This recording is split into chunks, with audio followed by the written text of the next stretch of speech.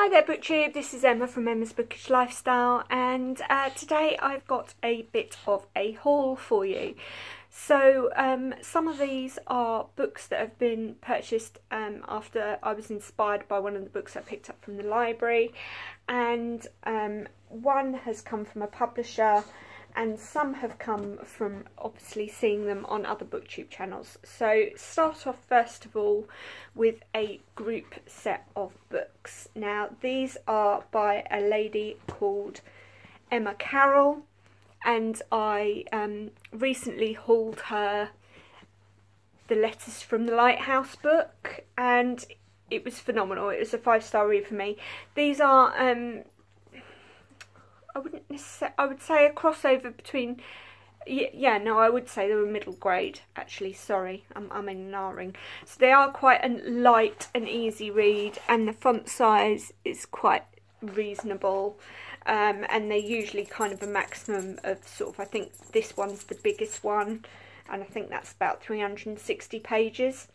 So the titles I've managed to pick up from her are Frost Hollow Hall, which I believe is about a young girl who um, is living in a in a hall property that a young lad drowned in the ice, and she falls through um, ice skating and is saved by the ghost of said child.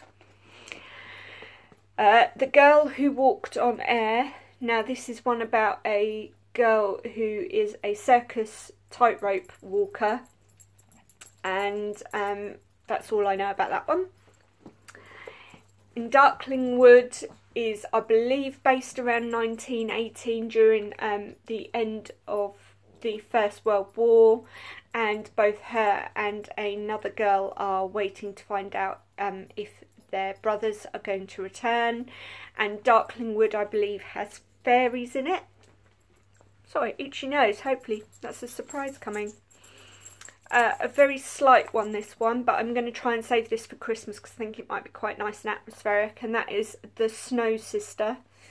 Um, and I believe this is a young girl who's lost her sister and so makes a snow girl uh, using her dead sister's shawl. And then last but not least, Strange Star, which I believe is um, based in Switzerland and is kind of a ghost story of sorts. There's a group of people meet to swap ghost stories, and there's knock on the door, and it's a young girl, and uh, she's got possibly the scariest story of all. So that's all of those, and they're all by Emma Carroll. Uh, as I say, I read uh, Letters from the Lighthouse and it was five star. I mean, I know it was a middle grade book, but I am of no way, shape, or form um, against reading any book if it's a good book. So there you go. The next book that I actually got for myself was The Hate You Give by Angie Thomas. Uh, I know this has been on BookTube quite a bit.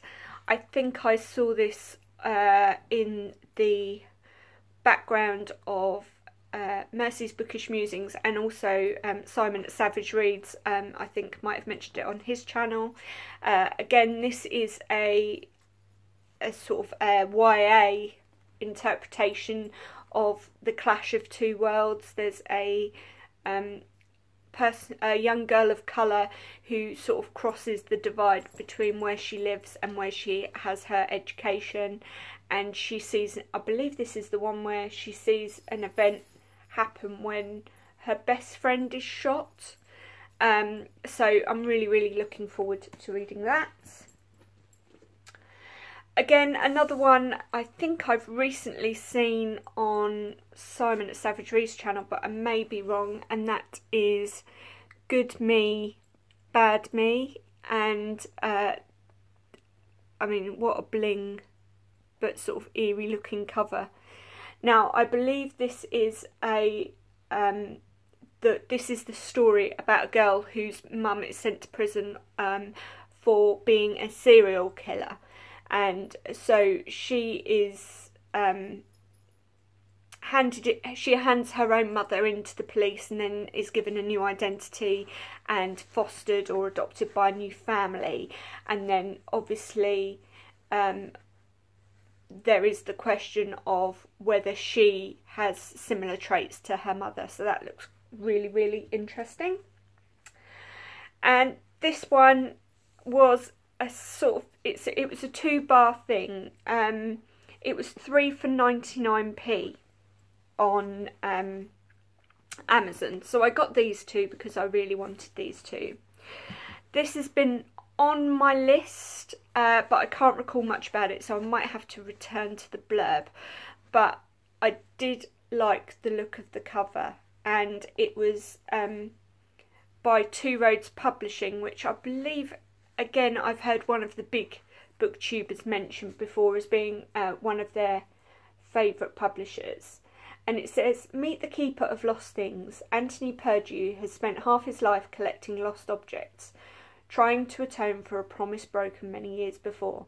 Realizing he is running out of time, he leaves his ho- house and all its lost tre- treasures to his assistant Laura, the one person he can trust to reunite the thousands of objects with their rightful owners.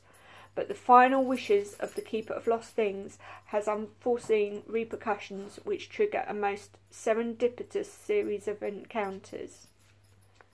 Sounds like it could be quite interesting. Again, not a too bad a, a read, and the, the font size quite reasonable. So yeah, I'll give that a go. And last but not least, this one came in the post today. Uh, I couldn't wait. I don't do um, enveloping.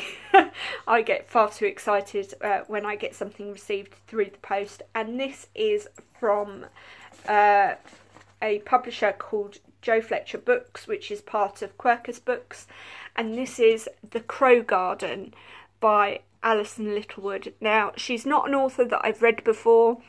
Uh, Simon at Savidge Reads got me into. Sorry, I seem to be plugging Simon at Savidge all the way through today, um, but he got me into Susan Hill uh, last autumn, and what drew me to this book was not only the cover was very sort of Susan Hill esque, but so was the storyline behind it. So um, I requested it from the publishers and was kindly sent it. So thank you very much. I will read you the synopsis because, as I say, I can't remember off the top of my head. So this says when Nathaniel Kerner takes up his new position as a mad doctor at Crakethorne Manor, the proprietor, more interested in phrenology and his growing collection of skulls than his patients' minds, hands over the care of his most interesting case. Nathaniel finds himself increasingly obsessed with the entrancing Mrs. Harleston. Her husband accuses her of hysteria and delusions, but she accuses him of something far more terrible. Is she truly delusional, or is she hiding secrets that should never be uncovered? Ooh. Autumn reading, perfect autumn reading. So that's all my book haul that I have at the moment. Uh, that book, The Crow Garden, is due for release on the 5th of October. Uh, I'll try and get a review onto the um, YouTube as soon as possible, onto the YouTube on onto the channel as soon as possible. Uh, I'm still reading The Last Days of Leda Grey. I did want to actually ask a question out there or put a question out there to you. Um, how many pages do you usually give a book before you decide whether you love or hate it? Um, I'm a bit marmite with this book at the moment, and I'll tell you why. I'm on page 70, and for the first sort of 50 pages, 50 plus pages, I found the writing really, really dry and brittle. And I know that the setting is a bit dry and brittle because it's an old, falling apart house on a cliff edge that had been bombed during the war and is slowly working its way off the cliff.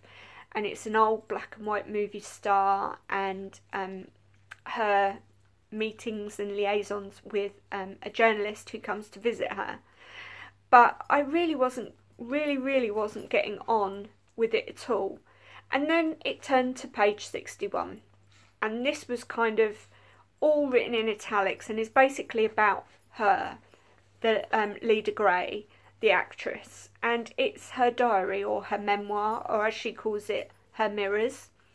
And I started to read it and got myself really interested. I, I couldn't really care less about the first 60 pages.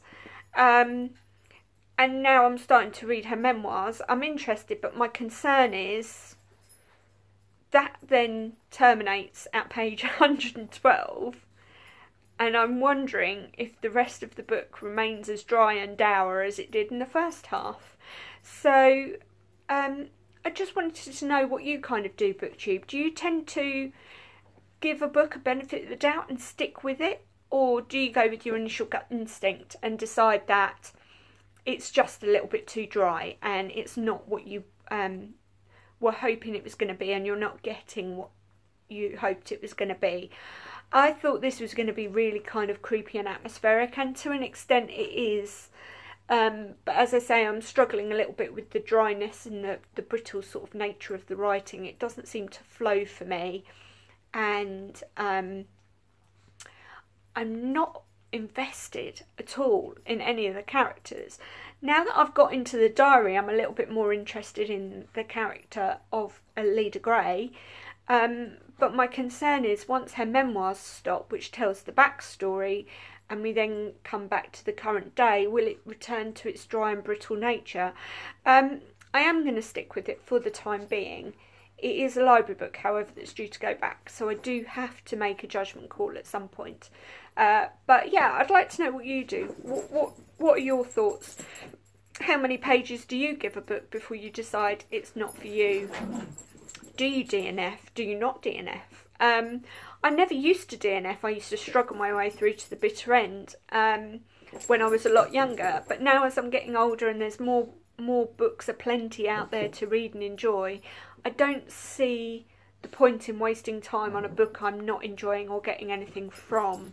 And so, yeah, uh, like to know your thoughts on that. That was the two dogs just about to have a fight behind my head. So perfect timing there, BookTube. Hope you're all well. Take care. Speak to you soon. Bye for now.